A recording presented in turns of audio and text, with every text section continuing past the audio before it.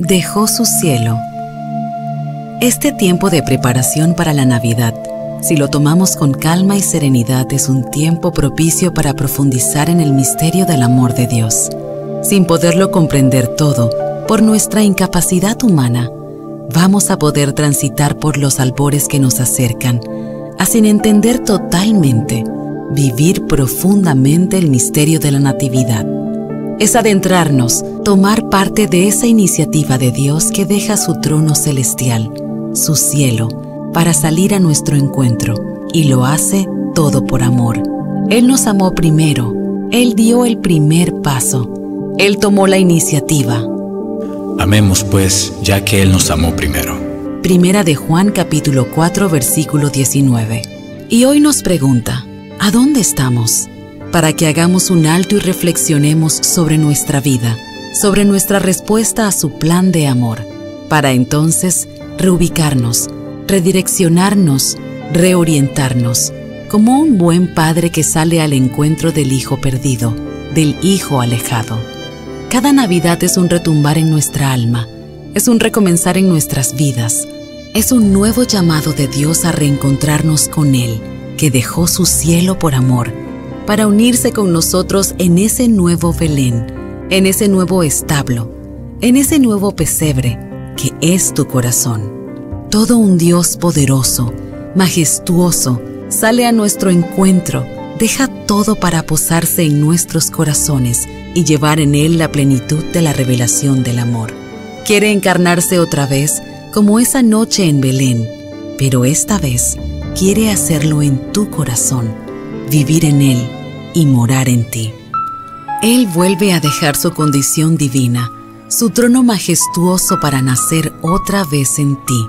Asume otra vez nuestra naturaleza, nuestras propias realidades, penetra en ellas, se inserta en lo que vivimos, se fusiona con lo que sentimos, llora lo que lloramos, sufre lo que sufrimos, y todo lo hace para mostrar ese amor salvífico que lo movió y lo mueve a dejar una y otra vez su cielo y salir a nuestro encuentro.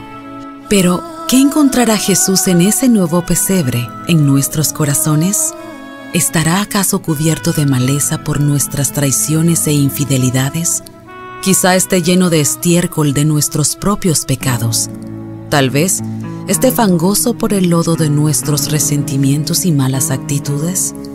En este momento, que nos toca reflexionar sobre la condición de ese nuevo Belén, donde recibiremos en esta Navidad a Jesús otra vez, a pensar en ese caminar que llevas desde la última Navidad, donde puedes descubrir las veces en que te extraviaste, en que te tropezaste y volviste a llenar tu establo de estiércol, de maleza y de lodo.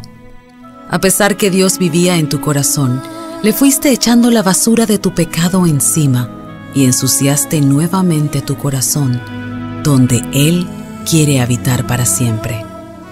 En este instante que puedes ver tu podredumbre, ver tu iniquidad y maldad, y clamar al cielo pidiéndole a Dios, ayúdame Señor a preparar mi pesebre, a sanar mi corazón, a enderezar mi vida.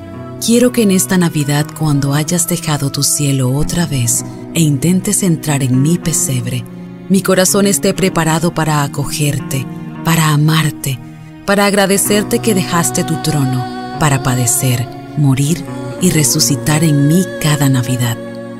Esta Navidad quiero estar realmente preparado para que cuando tú renazcas en mi Belén, yo pueda entrelazarme contigo y tratar de conocer tu corazón. Hoy quiero tratar de entender cuál es tu pasión por mí, qué te movió a dejar tu cielo.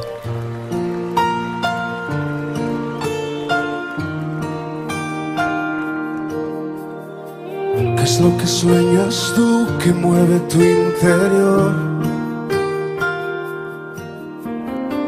Que te llevó a la cruz como es tu corazón. ¿Por qué dejaste el cielo? ¿Cuál es tu pasión? Quiero entenderlo y conocer tu corazón. Y al conocer tu corazón, mi mundo se hace pequeño, se desbaratan mis sueños. Y al descubrir tu gran amor, cobra sentido mi vida, todo problema se olvida. Y al conocer tu corazón, mi mundo se hace pequeño, se desbaratan mis sueños. Y al descubrir tu gran amor, cobra sentido mi vida, todo problema se olvida. love.